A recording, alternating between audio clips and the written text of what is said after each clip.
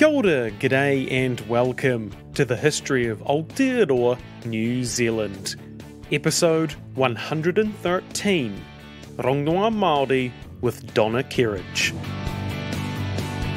This podcast is recorded in Te Whanganui-a-Tara on the rohe of Muaupoko, Taranaki Whānui, Te Atiawa, and Ngāti Toa Rangatira. We are generously supported by our amazing patrons. If you want to support HANZ, go to patreon.com slash history. Today, I have something very exciting to share with you. In episode 111, we heard about what Rongoa Māori was like hundreds of years ago. But Rongoa, as with all Māori culture, is still alive and thriving today. So, how is Māori medicine applied in a more modern context? To answer that question, I reached out to the knowledgeable Donna Kerridge. Donna is a Rongoa Māori practitioner and founder of Ora New Zealand, a company that delivers, quote, organisational Hauora Māori policy and advisory services, presentations, and training programs. End quote. She's spent the last decade or so advising the government on policies related to Rongoa Māori, which most recently has been in relation to the Therapeutic Products Bill, which we will discuss later in the episode. Apologies in advance if there is any audio issues. We had some technical problems that meant we had to record on Zoom. So if the audio is less than ideal, that's why. But hopefully that doesn't detract too much from the amazing knowledge that Donna has to share. Enjoy.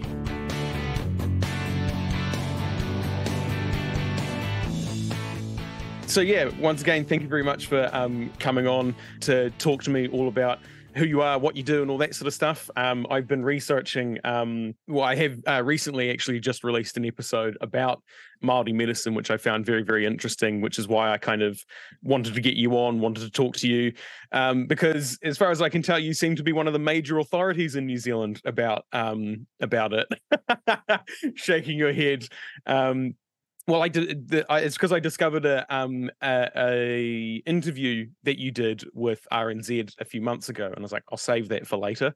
Um, and so then I pulled it up again recently, and that's when I flicked you the email. So um, so yeah, thank you um again for coming on. It is um great to have experts. And I know the listeners will be very, very chuffed um, or very, very excited to have have you on and, and be able to pick your brains and hear what you have to say. So yeah, do you want to tell us a bit about bit about yourself and kind of how you got into um, practicing rongoa Māori? Uh, tēnā koutou o oh, tēnā koe. Um, ko Donna Kerridge tōku ingoa, no Waikatoa hau, he uri o Ngāti Tahinga me Ngāti Mahuta hoki, he kairongoa a hau. So my name's Donna. I'm a rongoa Māori practitioner. I hail from the Waikato, my I've been practicing rongoa Māori now consciously for 20 plus years. I'm certainly no expert. I guess one of the things about rongoa Māori, the more you learn, the more you realize that you don't know. So I think I'm definitely a long way short of um, the experts we had a long time ago. But I do enjoy rongoa, have um, served on a number of expert advisory panels with regard to uh, rongoa. My passion really is the practice. Unfortunately, I'm I'm assuming for my sins that I um, have fallen more into the advocacy space, but I look forward to the day when that's no longer required and we can just practice. Yeah, amazing. Yeah, no, it's um yeah, no, I definitely know that that feeling with my bit of my work as well in conservation is um you like to be on the tools. Yeah. Um and when you start sort of uh you know having to do other things, you, it's not quite the same. You just want to get out there, do the thing. So I guess um and and you talking about the um you know previous people that have, have come before you um how has Rongoa sort of changed over the years? Um, I guess since Europeans have, have turned up here in Aotearoa and um, you know things have progressed from there. Is it still the same compared to what it was a few hundred years ago, or is it sort of changed quite drastically? One of the things that I'd say about the changes of Rongoa Māori over the years is that they have been positive and not so positive. Māori are very adaptive culture we have had to evolve in order to survive, and Rongoa is no exception to that rule. We have had to evolve in terms of the new challenges we see in terms of our health and well-being that didn't exist years ago. I'm not really talking about diseases, I'm talking more about lifestyle, about the resources that are available or unavailable to us, as well as the transference of knowledge that has changed. So there are also aspects of our culture and of our rongoa Māori practice that are being influenced by the majority. So we find ourselves as Māori as a minority living in our own country. We have a democratic system, which means that the voice of the majority carries the weight and the decision making powers.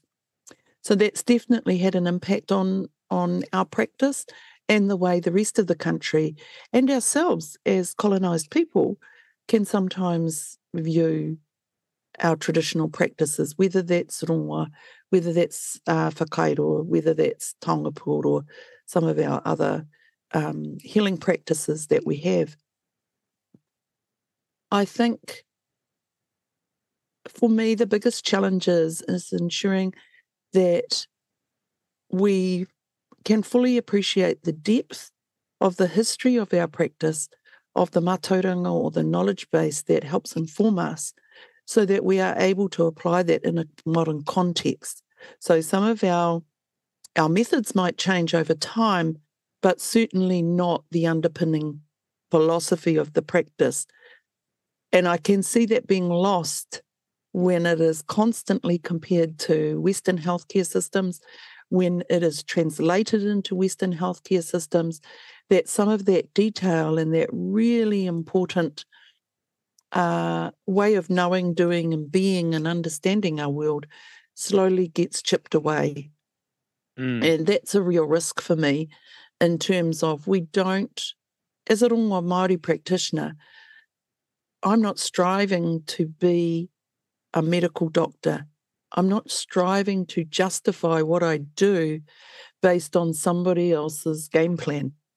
Um, you know, I often say to people when they go, "Oh, look, no, you need to do this and you need to do that because those are those are our rules, those those are our laws, those kind of things." And I think, well, there's no good me taking soccer rules to a rugby game.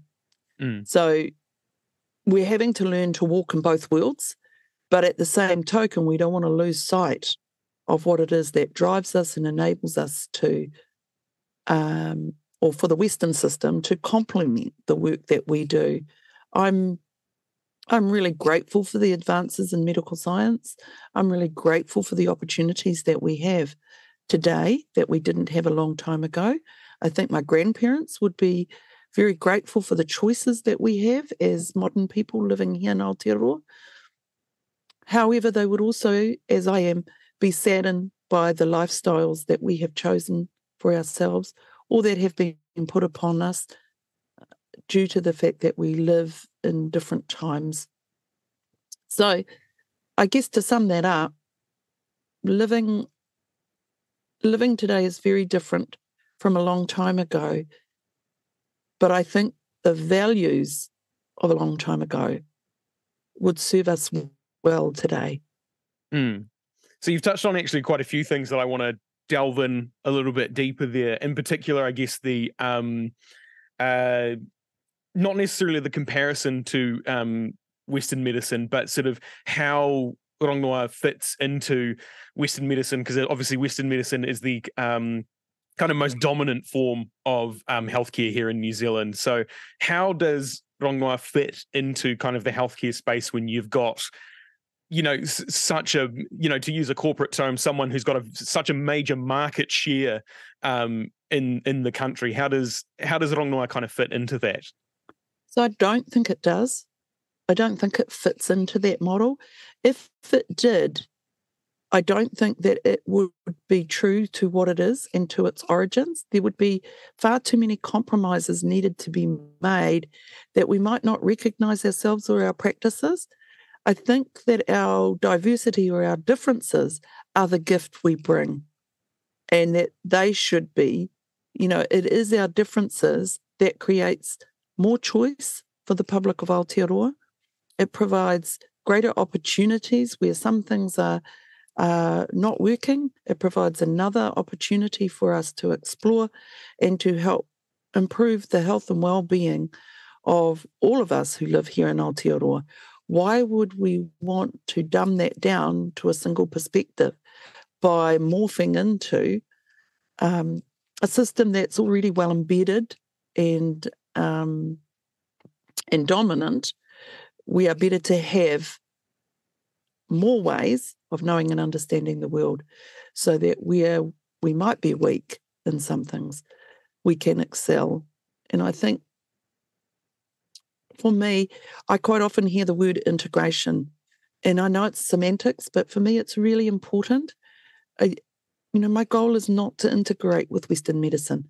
Western, Western medicine does fine on its own, with its own rules, its own way of knowing and understanding the world and the the disease that um, that is inflicted upon our people today. They're perfectly good the way they are. I don't want to change the way they do it as is Rongoa Māori. Rongoa Māori has another way of understanding the world, has another way of helping support the well-being of our people. And I think when you integrate those two ways, it requires one or both parties to give up something of who we are in order to be able to work together. And I quite often uh, use the analogy of look, if I'm going to come into the medical world, could you guys just leave your science at the door? Because I don't get it. I, ju- I just don't get it. So if you could leave that at the door, we'd get along just fine. And then I can see the doctor's going, yep, all well and good. But if you guys could just leave your wairua, your spiritual stuff at the door, because gosh, I don't get that, um, then we're going to be able to work together really well. And then what happens is when my mokopuna is on the surgeon's table, and I've just asked him to leave all his science at the door, that would be probably the dumbest thing I could have done. If if a medical doctor is working on my mokopuna, then you bring everything in your toolbox to the table, please. And I will bring everything in my toolbox to the table. So let's not compromise our ability in order to only work on the ground that is common, because that takes the the essence out of both our work. What I'd like to be able to say is, you bring everything you have, I'll bring everything I have, and let's collaborate where we can. Let's take the the strengths of what you do, the strengths of what I do, and help give the people that we both serve choice in their care. Fantastic. So I think um, I, I, guess uh, to to that kind of uh, analogy there, I, I think one of the things that I, one of the questions I had when I started researching this and probably other people have as well, is um, what does a typical uh, Rongoa Māori consultation look like? If someone comes into you saying, you know, I've got pain or, or whatever, what what does it actually look like? How do you know? How does that? Um, also, I guess, how does that compare? That if I go into my GP, how is that different? What are the different questions that you ask? What are the different processes that you go through to determine how you're going to treat them? Well, I think it's firstly, it's important to recognise that every Rongoa Māori practitioner is different in their approach to how they work with people. And I can only talk to that which I, I engage with.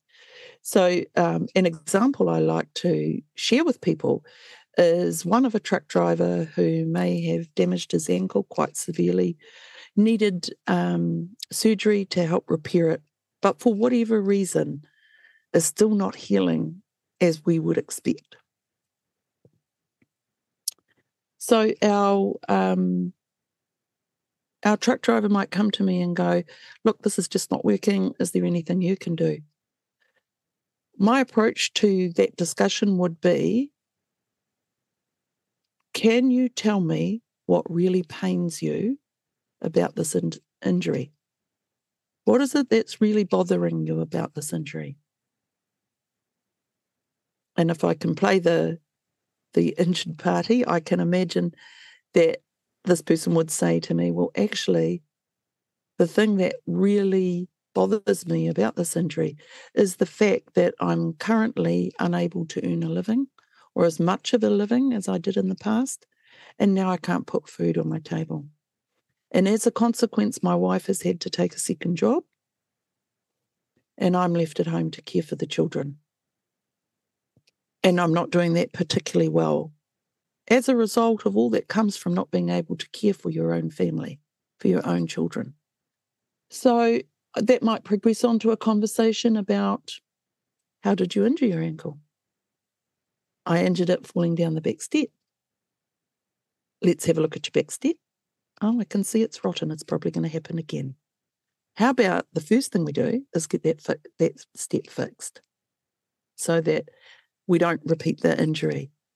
Let's go. How about I go down to our local college, talk to some of the teachers down there, see if we can't get some of the people looking for NCA, NCEA credits to come and repair that. We'll go and talk to the lo- local Mitre 10, we'll get some materials, some offcuts, and we'll get the teacher up here to supervise and let's get that step fixed. Now, the next thing that you mentioned to me was putting food on your table. How about we go down to the local food bank and you know the the thought of that is horrific for people that are full of pride and so let's go down there and let's see if we can't get you access to some support with food for your family and don't feel shy about that our words would be whakama, but I'm trying to avoid those words for the general population who might be listening to this. It's okay. The list the, the listeners will know those sorts of words. Um, I've trained them up well. okay, great. okay then. So I would be saying, I would be saying to to our person, don't be whakama. Because when you're healed, you can go back and volunteer down there. You can help. So, you know, don't be afraid to to take support from your community.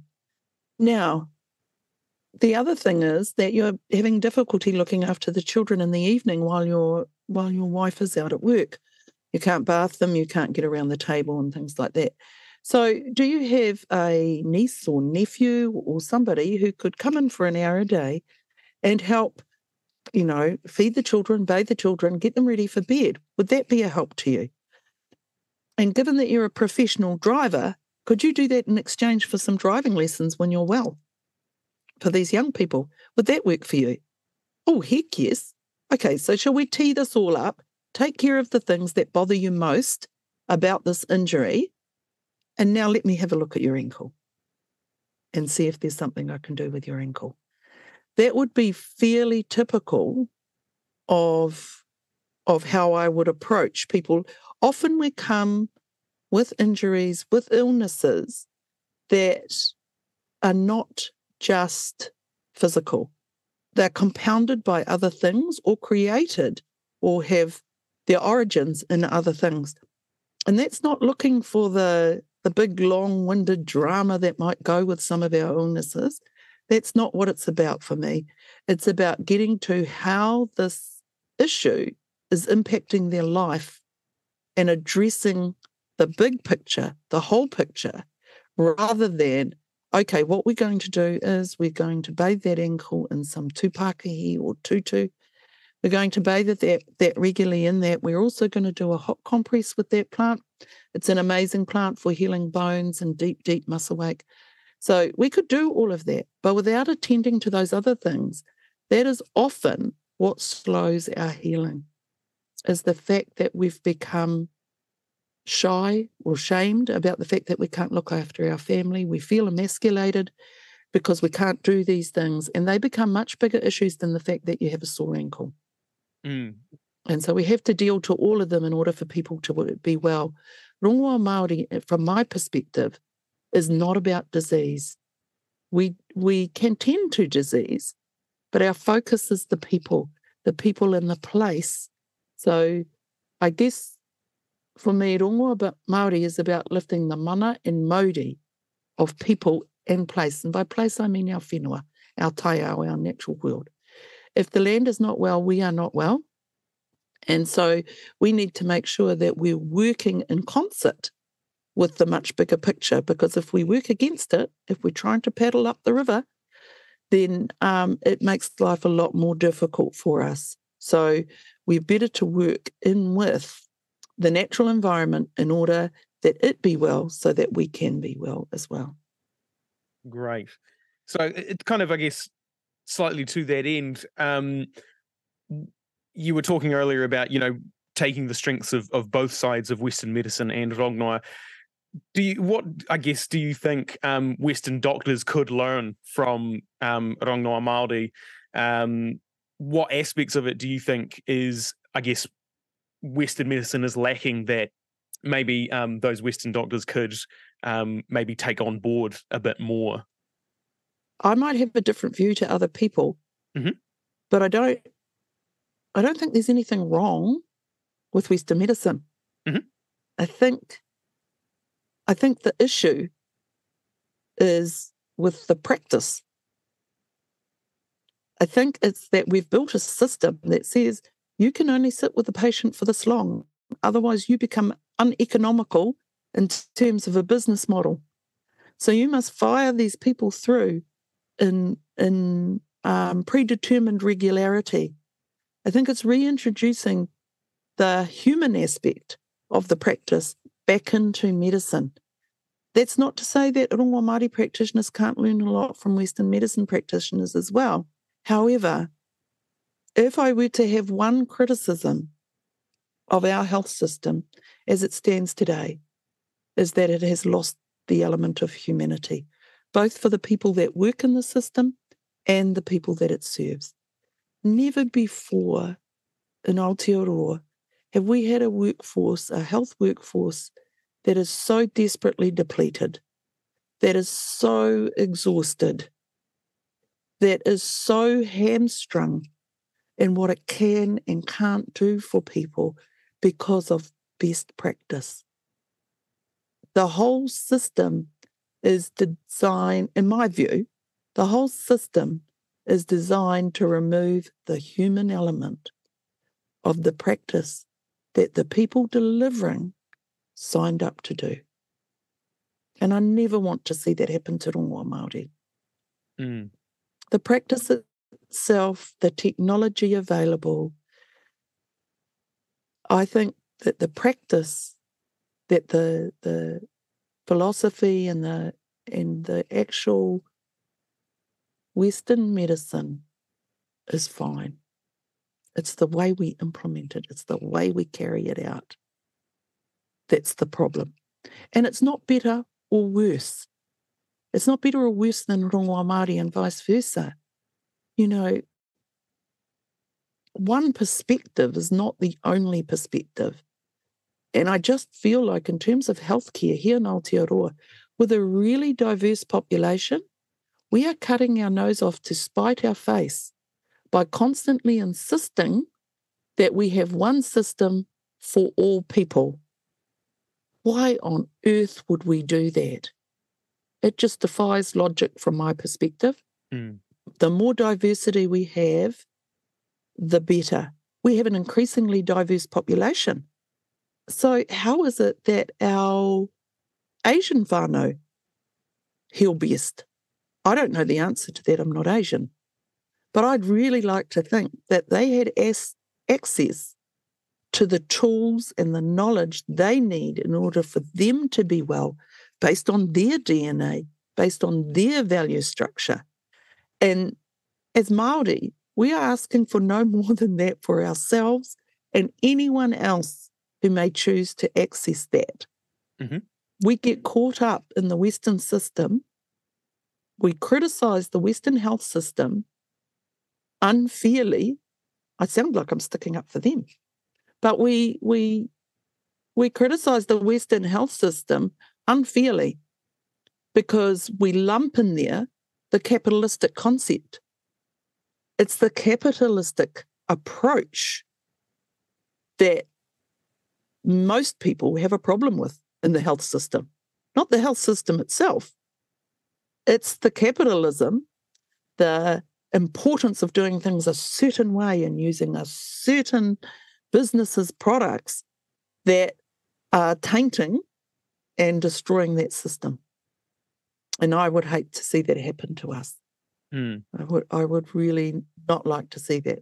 Yeah, you're uh, you're really speaking uh, uh, really speaking my language here with this real anti anti capitalistic stuff because I yeah hundred percent agree. It's um yeah, yeah it, it's yeah as I said speaking to a very deep part of me there. well, I think if we I think if you're a true capitalist, you would see the errors of your ways mm. because you have a very finite resource base that is might last your lifetime if you're lucky, but probably not. And you really need to take the long term view. Mm. And the long term view is something that I don't see a lot of our business models taking. Their long term view is for my term on the board. Their long term view, maybe at best, for my heirs and successors, but it's certainly not for the life of the planet or the life of my great grandchildren or my grandchildren. Mm. We need to take a much longer view. And so, what worked, you know, what worked 100 years ago in terms of business doesn't work today. And what we're doing today is going to severely reduce our choices for the future. So, I think their model, of which I have no expertise to be talking about, but it does it does reek of short-term views for short-term gain and the whole concept is about i win by taking more than i give and sooner or later the human species is going to have to realize that we're only one tiny part in a in a world of multiple, much more than we can count, moving parts in order to get the outcomes we want. So, yeah, I think that would be my one view, my one criticism of the health system is that our human capitalistic perspectives about what success looks like is at odds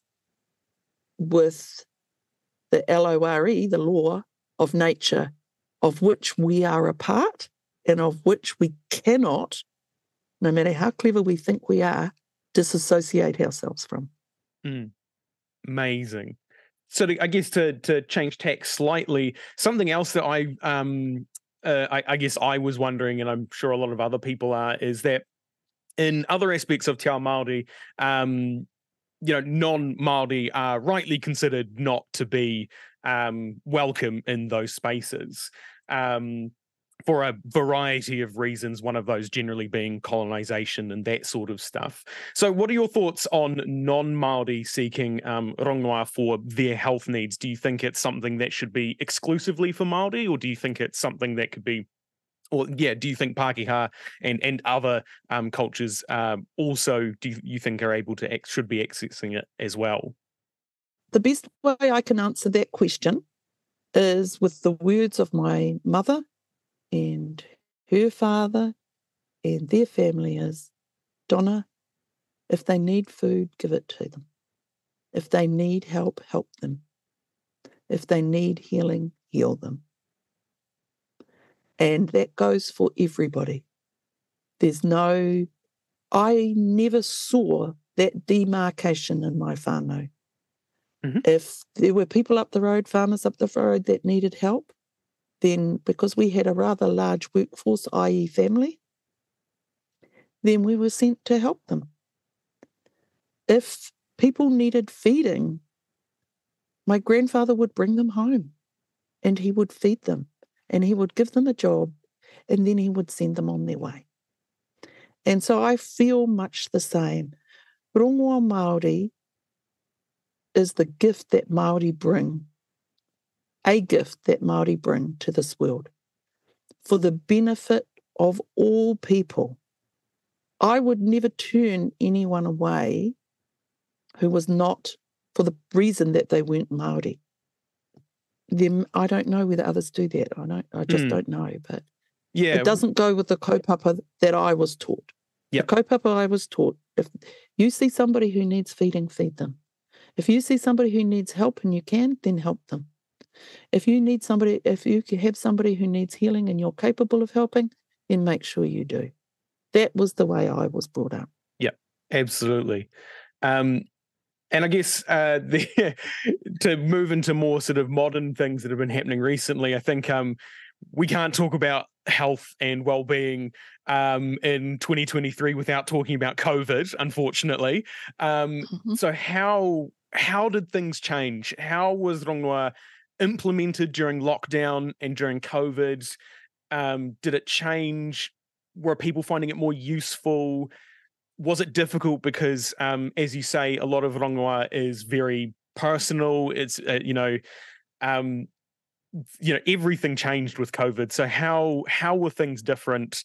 What was what happened there? I guess is the crux of the question. Well, talking from my own experience, I mean, I can talk on the big big level as well, but I rather just talk to my own experience. Absolutely.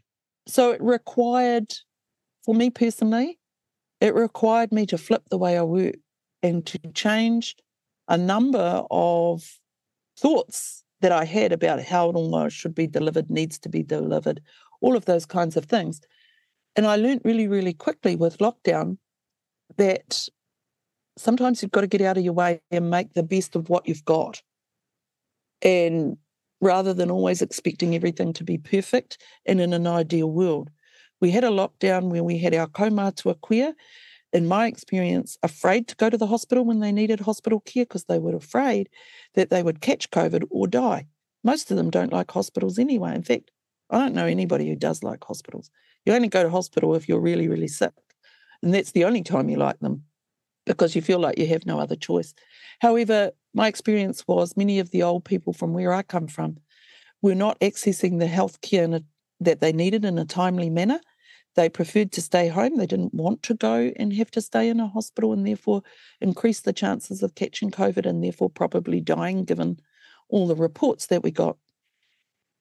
I also found that um, what happened was the people didn't want to put their own family at risk.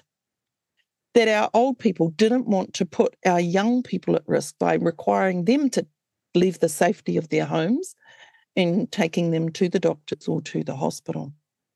Some of our caregivers who were dropping off welfare packages to whānau were noticing that people weren't getting the care that they needed. They couldn't be talked into going to the hospital or to the doctors. So they asked some of them, would you be more comfortable talking to a rongoa practitioner? Many of them opted for that. So I was getting phone calls and people were ringing me and asking me questions about their health and or actually mostly it was family of our old people who were ringing and going, look, I'm really worried about Nan's leg. Um, I think she should go to the hospital. She doesn't want to go. So, for those who had young people around them, we were able to use technology for me to be able to see what's going on and to advise them accordingly. What I learned was I now had willing helpers that could be my eyes, my ears, my hands. And so that was really good. But the one thing about telehealth, which I never rated, was you can get to look into, into somebody's home you can see the support they have at home, not just what they tell you when they come to see you. You can see what they need and you can see what support they have. And so that helps with your advice and support that you can offer them. So that was a real plus having that technology inside the home. The other um, other advantage that COVID taught me was that you could tell everybody the same story at once so that nobody felt like they were left out in the cold in Nana's care, that everybody felt like they had all heard the same story and that they could all pitch in and help given their respective gifts in their care. So we didn't have whānau that were alienated. We had a lot more willing helpers and there was much less confusion within the family. So it was a real plus. What was really not good was the loneliness for those that found themselves totally isolated. And I'm not sure that that's come right. I see the people that were isolated over that time, their health deteriorate, their sense of self worth deteriorate, and a growing fear that it could be repeated. And so it's had huge consequences, huge consequences on what our um, how our people deal with the wellness of whānau and people trying to dismiss things because they couldn't get professional advice and watching those things exacerbate into things bigger than they needed to be. So, for me, as a result of taking all these phone calls from people going, you know, look, I've got this. Is there any rongoa I can take? I don't like taking these pills or those pills. And one of the funny things that I've said to people is, do they work? And, you know, quite often they'll go, yeah, but I don't like those. I want to use ours. And I go, does it cause you any other problems? Have you got any issues with taking these medicines? Or are they just working and you're actually quite happy, except for it's got an English name on the label instead of a Maori name? Is that our problem? In some cases, it was. And it's like, okay, well, look, we can swap that out for something. It's going to take quite a while because we have to transition from one to the other in a safe way and in a coordinated way across your health carers. And so it could take us between three to six months to get to a space where, if it's appropriate, we can move you to a rongoa with a Māori name on it. And in the meantime, there could be some discomfort as we transition.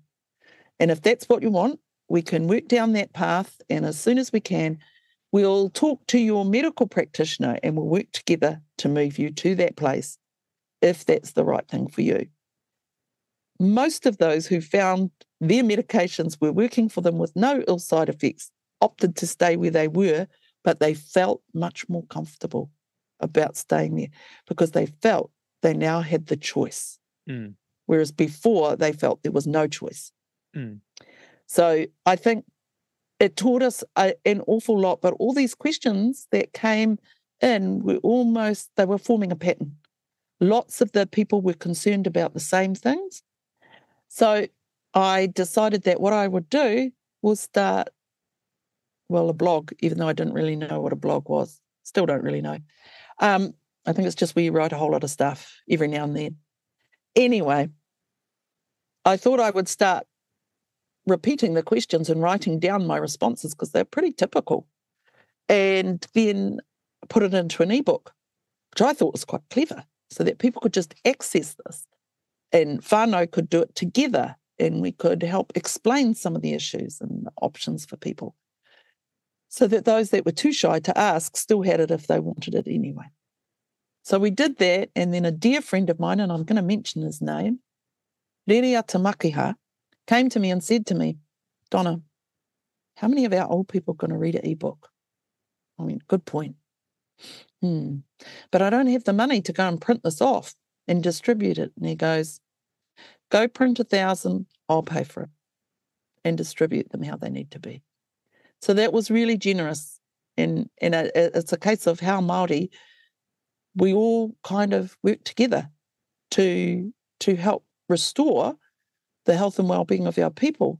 And it wasn't long after that that a an American now living in New Zealand philanthropist also said, "Go and print five thousand for it, and then you can distribute them around the country as need be." So that was really a case of the community getting on with what needed to be done and sharing information in a safe way and in a way that our people will access it. Unlike my get it up on the web, let people download it um, and use it that way. But the practicality is some of our whānau, especially our remote whānau, don't have access, you know, through mm. um, to the internet due to, you know, our terrain and things like that and cost. So it was a perfect solution. And we're really good at sharing stuff like that. So it reminded us of the power that sits within us as communities. We don't have to sit there. We don't have to wait wait for handouts from the system. We can pool our resources with the help of others and we can get the job done. So COVID was a really good opportunity for Maori to do what Maori do best, and that is to be Maori and to look after our own. And anybody, I know that's terribly closed doorish, and it's not meant to be that way. When I say our own, I mean my immediate community, wherever they come from. So, as well as my whānau, my whānau Māori and the whānau that I live by are my community. And from my perspective, that's what Māori do well. And we've seen it in recent tragedies where Māori have just stepped forward and soothed the situation in a way that politics, that authorities, that systems cannot do because they've been designed to take the human element out of the care. Mm, yeah, I was I was about to mention that as well. Is that we have seen a lot of that with um, the cyclones and things recently. Is that um, yeah, just marae Maori have stepped up and filled gaps where um, yeah, as you say, the politics hasn't been there, um, unfortunately. So, um, which has been um, unfortunate, I guess, that it needed to happen, but great that it was that it could happen and that it did happen. I guess is how you might might put this. Look, one thing I would say is that Maori perform best in all the wrong statistics in this country. Mm. So we are the least educated. We are the least wealthy. We are the most incarcerated. All of these things are facts.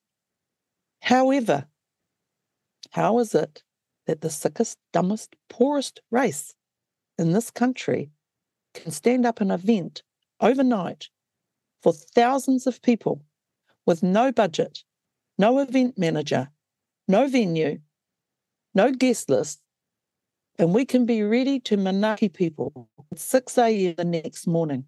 How is it that the dumbest, sickest, poorest people in this country can do that where no other well resourced organization, I challenge, could do that so seamlessly. Maori do it when Maori are allowed to be Maori. And the last bastion for us in terms of being allowed to be Maori is a tangihanga. No one cares about how and what we do at tangi. And yet, that is where we excel because we are allowed to be Maori and nobody pokes their nose in to how we do that.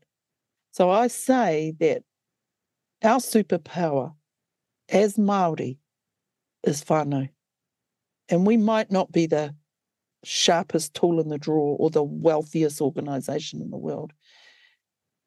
But I think that we need to step back and redefine the conversation. It is not about how well we perform based on some academic level.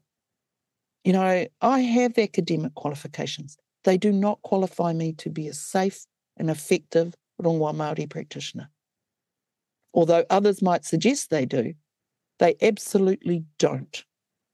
We may have money in the bank, but that is not what knits us together.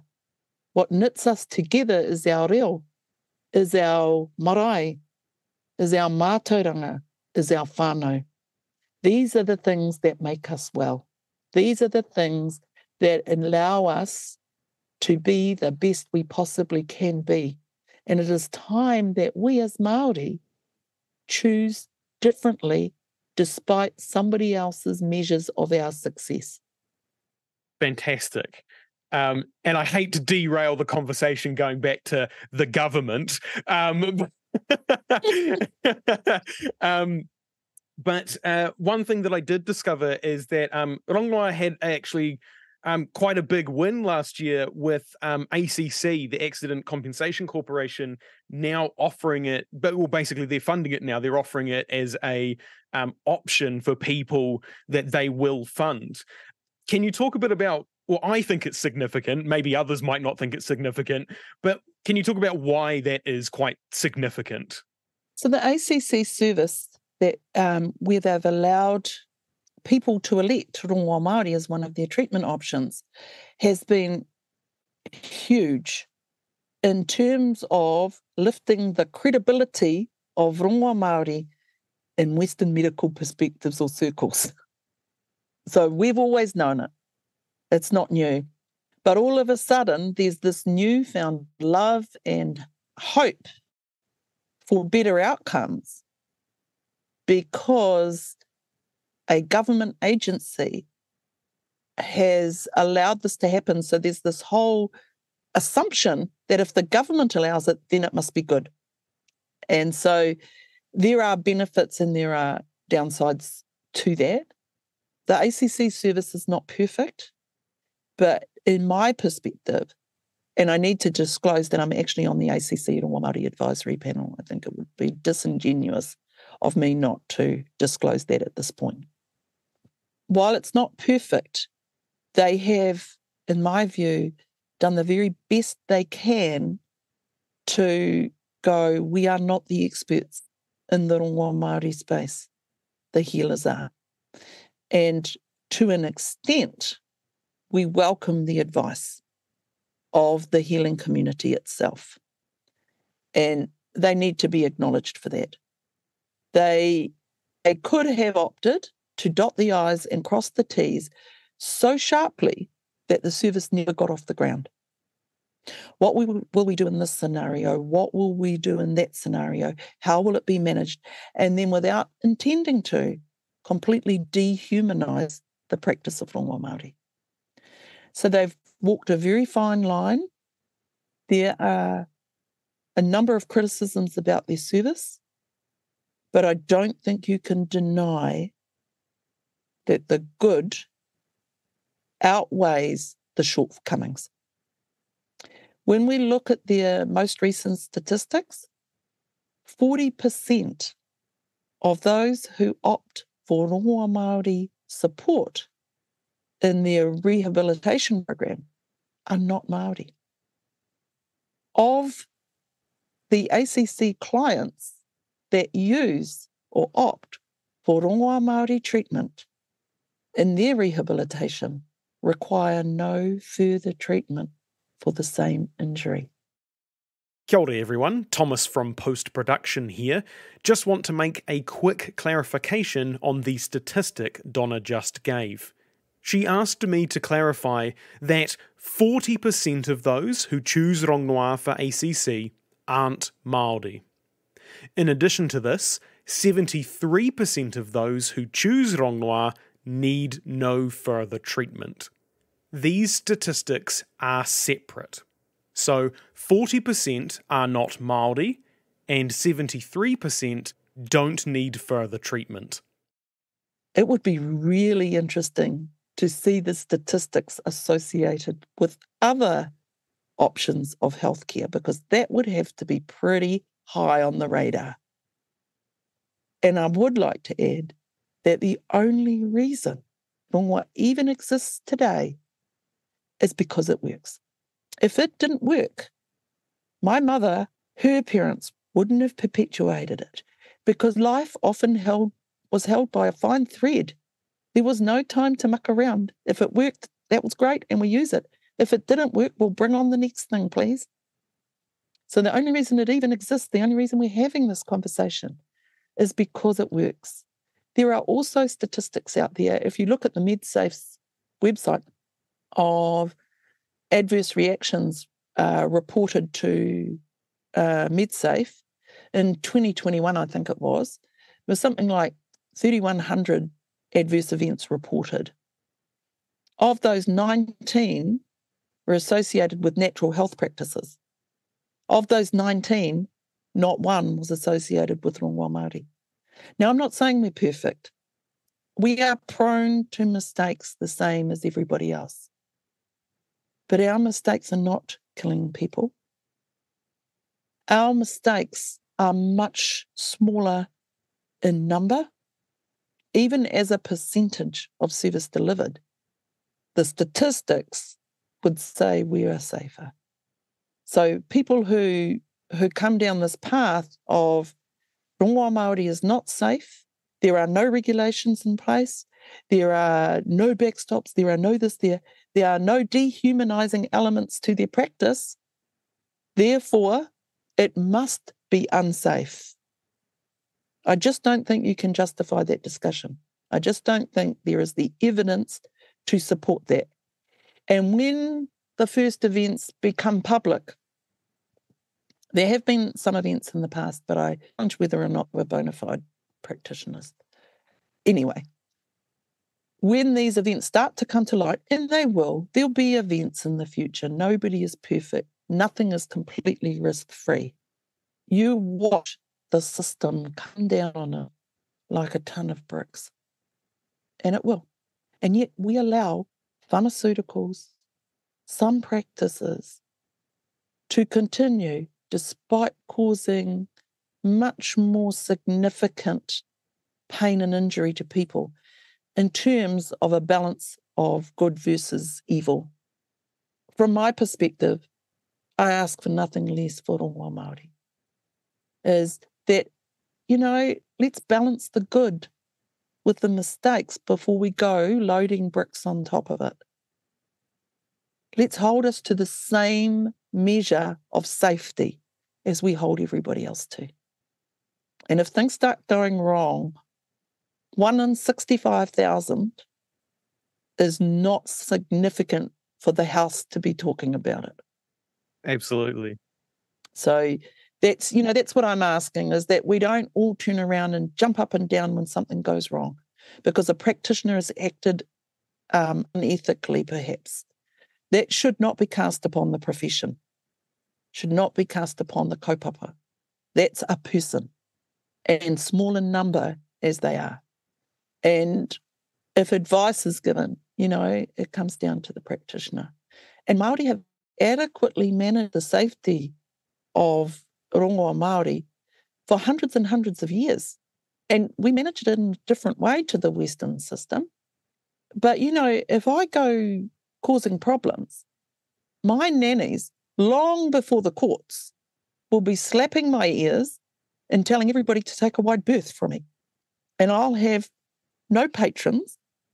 And then I'll have to go and work in the mara, which is a rongoa in itself. So, you know, we have our own ways, and nothing works better than the kumara vine. Just because you have a tohu, just because you have a tohu to practice as a dentist, doesn't mean you're the kind of dentist I might want to go to. You know, we really do have to do our homework, and we do. We do do our homework. If you're in need of a hip replacement, I'm sure you work out and you ask around who's the best doctor to do that. Well, do the same for Rongoa Māori. Just because they've got Rongoa Māori on their, on their name, do your homework. And, and our old people are not shy at calling it like it is. Don't go there, she's a hoha. She's useless. Waste your time. Or don't go there, she's dangerous. And they don't mince their words. But if you go to any professional association where there's a complaint, we are investigating. We have set in place processes so this never happens again.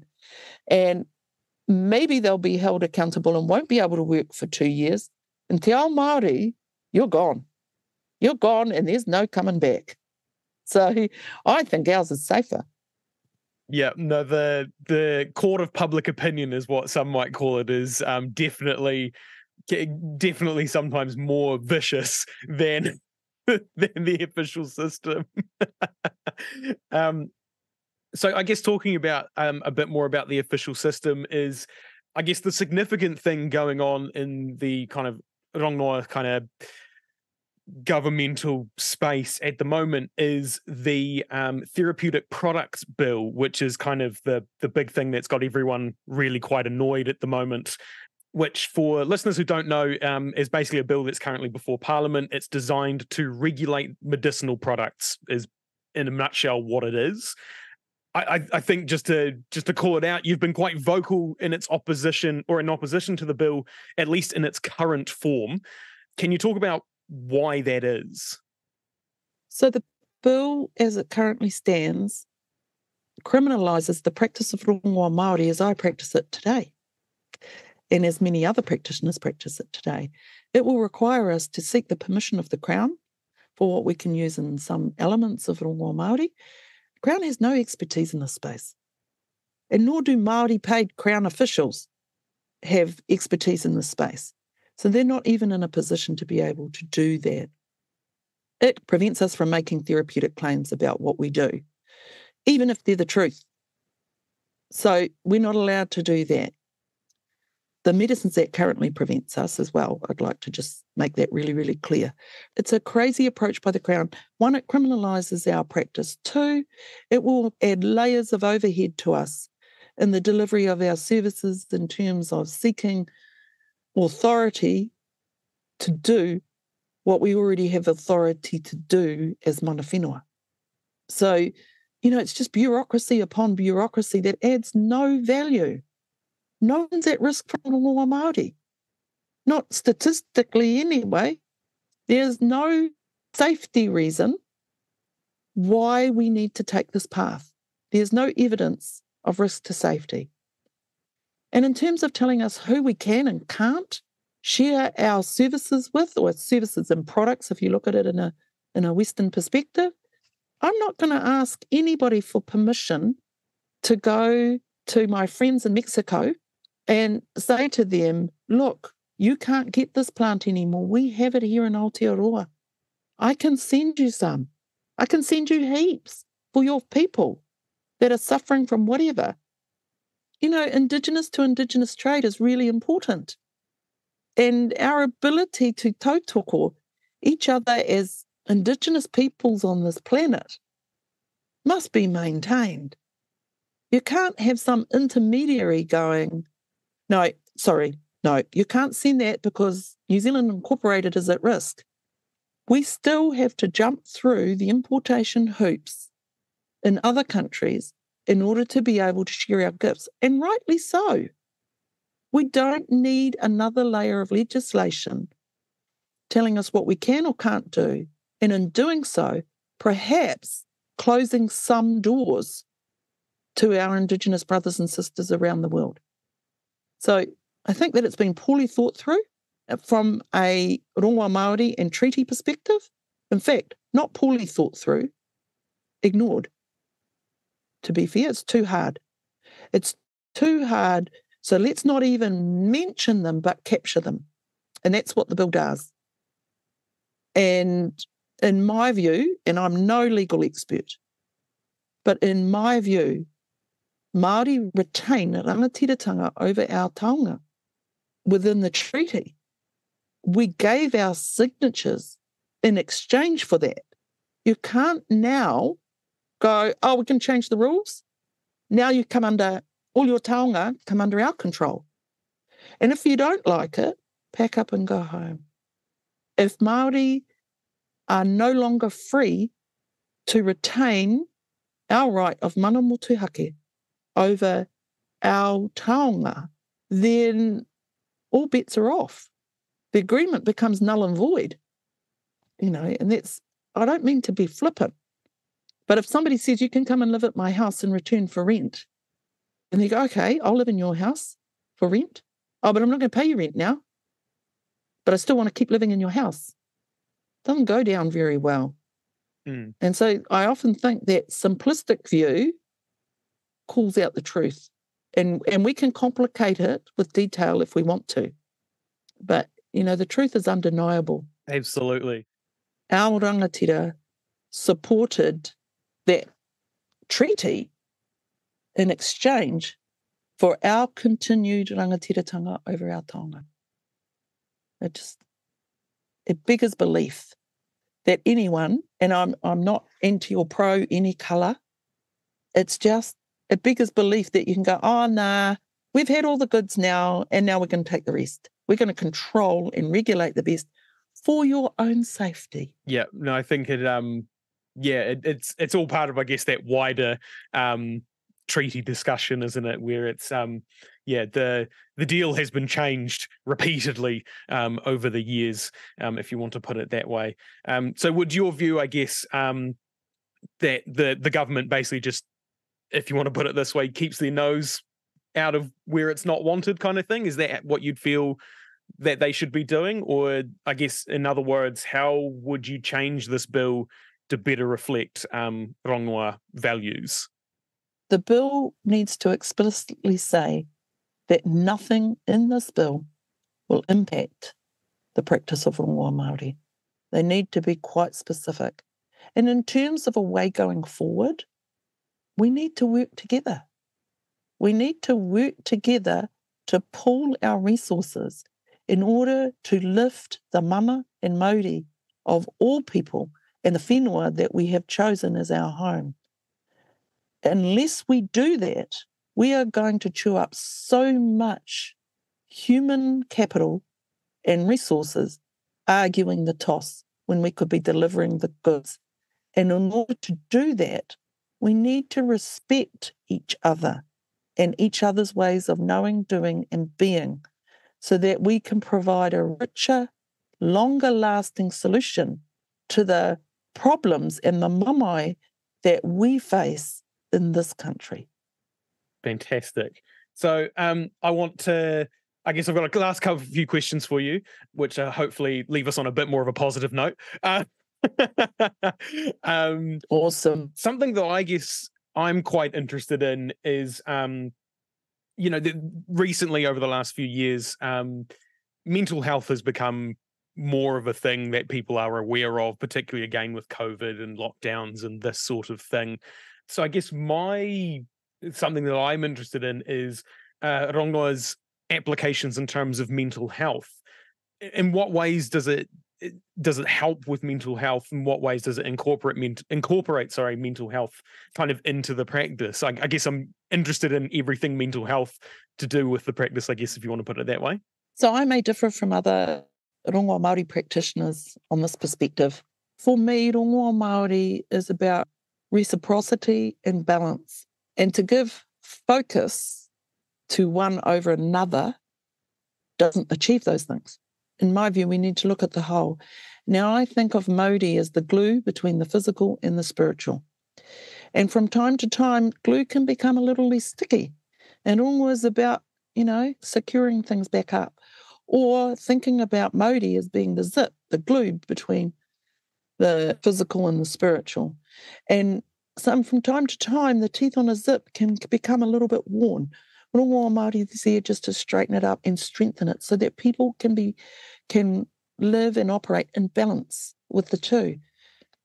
To give all your focus to the physical is to distort the balance. To give all your focus to the spiritual element, which is somewhere where we sometimes see the the mental health space, is in that realm. Um, to give our focus to one or the other actually doesn't work for me. It's about the person, the wholeness of the person, and the bond between those things. So I personally don't step into the mental health space, nor do I step into the cellular level of the physical. I don't go into that kind of stuff, even though I could. I choose not to because that would be reframing what I understand Rongoa Māori to be. It's the same as saying Rongoa Māori has a strong focus on cancer. I personally don't believe that. I believe we have a focus on the mana and mauri of a person and strengthening the mauri despite illness is the goal of Rongoa Māori. So I don't go into what's happening at a cellular level inside the body. I have other people I can go to for that. And they're really good at what they do. I don't go and look into mental health and ignore the spiritual realms that go that that is part of.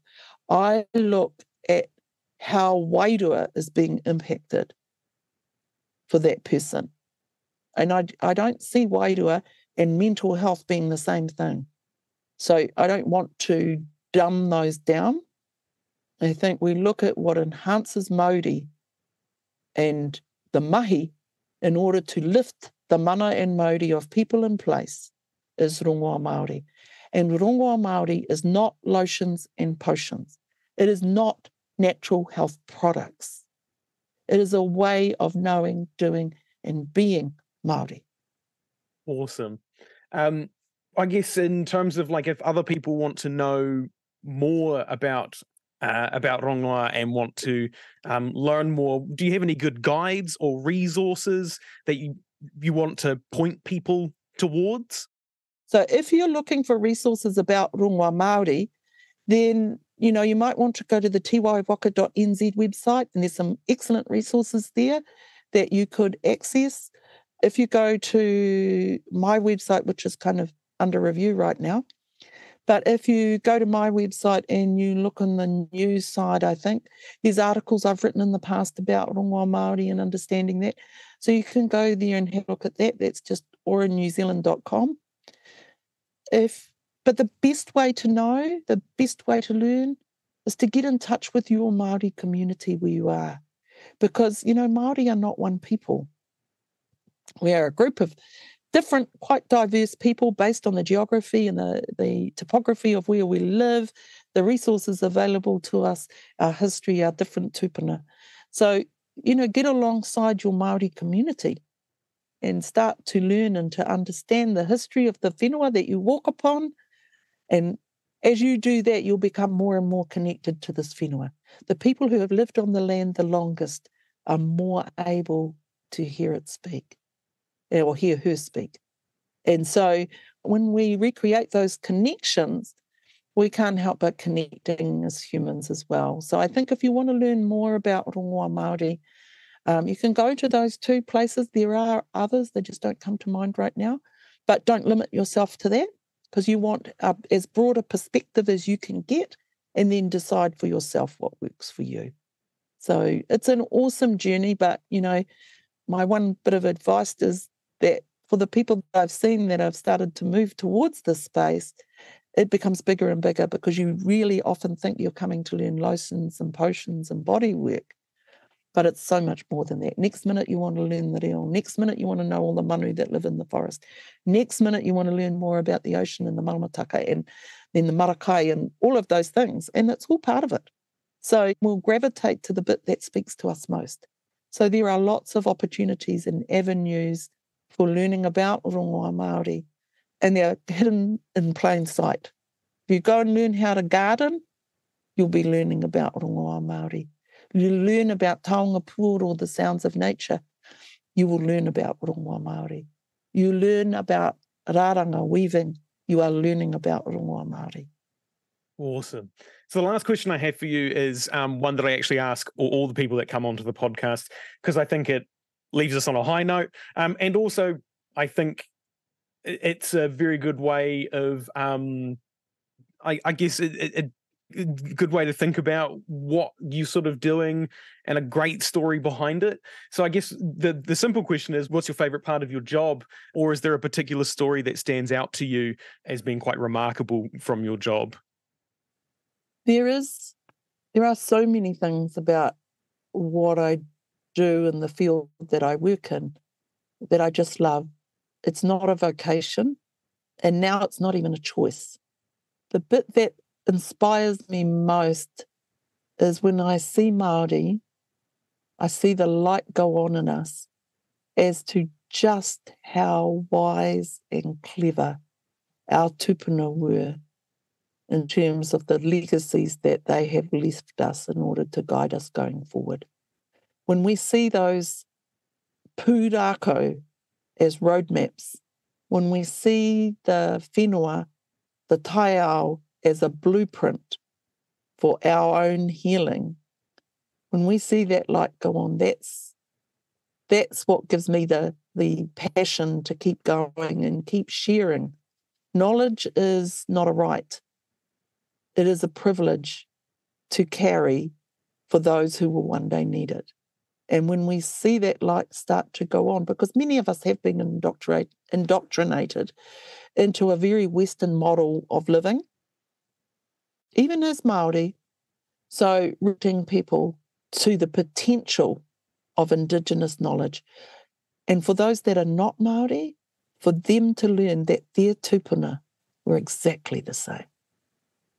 It's just so rewarding, so rewarding and so inspiring, and so reminding of just how much more there is for us all to learn from those that have gone before us and how we apply that in a modern world.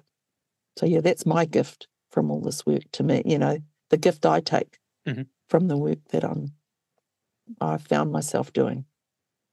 Well, excellent. Thank you so much for um, coming on and sharing your perspective. I've I've learned a lot. I'm sure everyone else is, um, will have learned a lot as well. Yeah, just thank you so much for for coming on. It has been amazing um, to chat with you.